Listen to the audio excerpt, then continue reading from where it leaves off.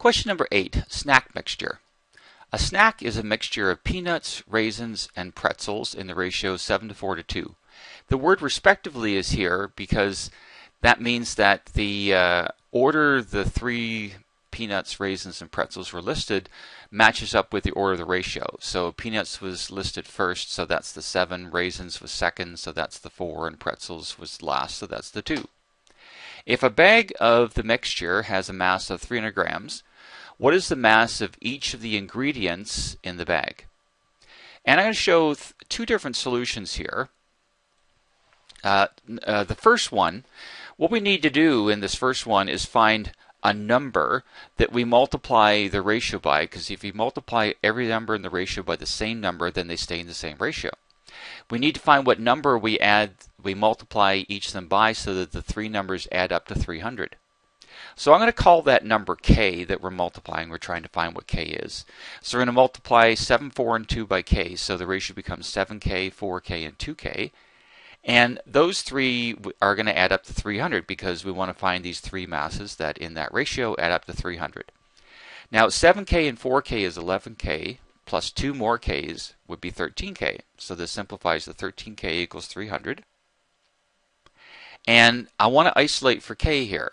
So the 13 is multiplied by the k, so we undo multiplying by 13 by dividing by 13. That's what this next line shows. So the 13k is uh, being divided by 13, and the 300 is also divided by 13. Remember, you have to do the same thing to both sides. We can't divide the left by 13, but not the right. And so those k's divide out, sorry, the 13's divide out to give us just k. And 300 divided by 13 is 23.077. So that's the number we're going to multiply the 7, 4, and 2 by, and that's what this next line is showing. We're going to multiply the ratio by that 23.077. So 7 times that is 6, 161.5. 4 times the 23.077 is 92.3. And 2 times 23.077 is 46.2. And so the 161.5 grams is the mass of the peanuts, the 92.3 grams is the mass of the raisins, and the 46.2 grams is the mass of the pretzels. And we can check to make sure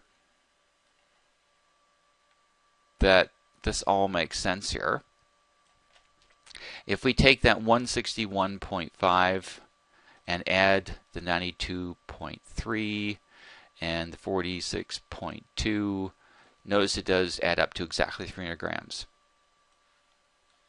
So that's the first solution. Second one here, we're going to find the uh, fraction or percent of the, uh, the, the bag that's peanuts, raisins, and pretzels. So the 7, 4, and 2 from the numbers from the ratio add 13.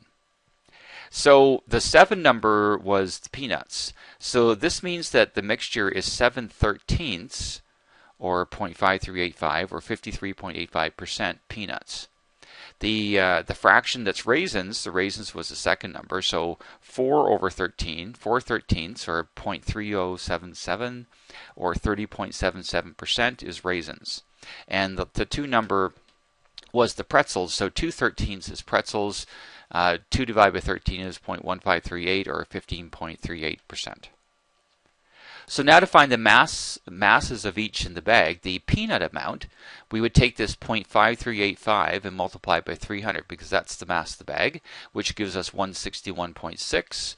Of course, uh, uh, slightly different than the number up here just because of a little bit of rounding. The raisin amount, the 0.3077 times 300 is 92.3, which is exactly the same. And the pretzel amount, uh, 0.1538 gets multiplied by 300 to give us 46.1 grams, very slightly different than what we have up here. So the the amounts are very slightly different. If we'd actually taken this out to more decimal places, we, we could have gotten exactly the same amount here. So uh, it's really not to worry about a tenth of a gram uh, difference in each one. These actually these numbers actually still add up to exactly 300, just like the ones uh, above do.